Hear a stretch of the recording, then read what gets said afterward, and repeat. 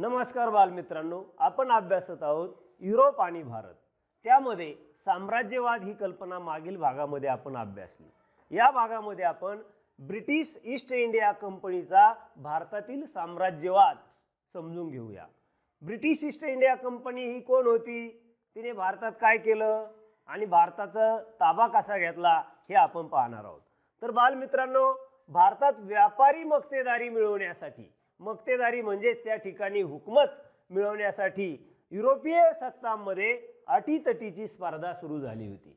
कारण भारत हे अविकसित राष्ट्र होतं आणि इंग्लंड हे विकसित राष्ट्र होतं. युरोपीय देश त्या ठिकाणी औद्योगिक क्रांती झालेली असल्यामुळे ते विकसित झालेले होते. आणि मग विकसित देश अविकसित देशावर सर्वांगीण वर्चस्व प्रस्थापित करणे म्हणजेच साम्राज्यवाद. आणि मग तशाच प्रकारचा हा साम्राज्यवाद ब्रिटिश ईस्ट इंडिया कंपनीने भारतात सुरू केला. मग ब्रिटिश ईस्ट इंडिया कंपनीची स्थापना कधी झाली? तर बाल मित्रांनो इसवी सन सोळाशेमध्ये इंग्रजांनी भारतात व्यापार करण्यासाठी ब्रिटिश ईस्ट इंडिया कंपनीची स्थापना केली. आणि या ब्रिटिश ईस्ट इंडिया कंपनीमार्फत भारतातील व्यापार चालू झाला. मग या ब्रिटिश ईस्ट इंडिया कंपनीने काय केलं सुरुवातीला?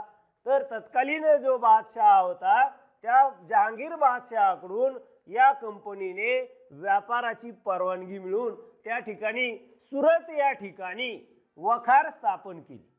म्हणजे सर्वात प्रथम ब्रिटिश ईस्ट इंडिया कंपनीने भारतामध्ये सुरत या ठिकाणी आपली वखार स्थापन केली म्हणजेच आपली वस्ती केली. आणि त्या ठिकाणी वखार स्थापन करून सभोवतालच्या प्रदेशामध्ये व्यापार सुरू केला. व्यापार करता करता आपला साम्राज्यवाद म्हणजेच आपली जी महत्वाकांक्षा होती की या प्रदेश ताब्यात घ्यायचा हा प्रदेश आपला करायचा म्हणजे आपल्या सत्तेत आणायचा ही इंग्लंडची त्या ठिकाणी महत्वाकांक्षा होती. आणि ब्रिटिश ईस्ट इंडिया कंपनीने त्याच पद्धतीने हळूहळू त्या ठिकाणी बादशहाचे दिलेल्या परवानगीच्या नियमांना झुगारून त्या ठिकाणी आपलं वर्चस्व प्रस्थापित करण्याचा प्रयत्न केला. आणि पुढे मग आपल्या भारतावर पूर्ण ताबा मिळवला आणि भारत हा पारतंत्र्यात गेला. तर बालमित्रांनो या कंपनीमार्फतच भारताचा इंग्लंडशी व्यापार चालत असे. मग या भागामध्ये आपण ब्रिटिश ईस्ट इंडिया कंपनीचा भारतातील साम्राज्यवाद म्हणजेच भारत ताब्यात घेण्यासाठीचे सुरुवातीचा जो काळ होता तो अभ्यासला. म्हणजेच विकसित राष्ट्राने अविकसित राष्ट्रावर आपले सर्वांगीण वर्चस्व प्रस्थापित करणे आणि तो देश आपल्या ताब्यात घेणे म्हणजेच त्या ठिकाणी साम्राज्यवाद आणि ब्रिटिश ईस्ट इंडिया कंपनीने सुद्धा भारतामध्ये साम्राज्यवाद केला.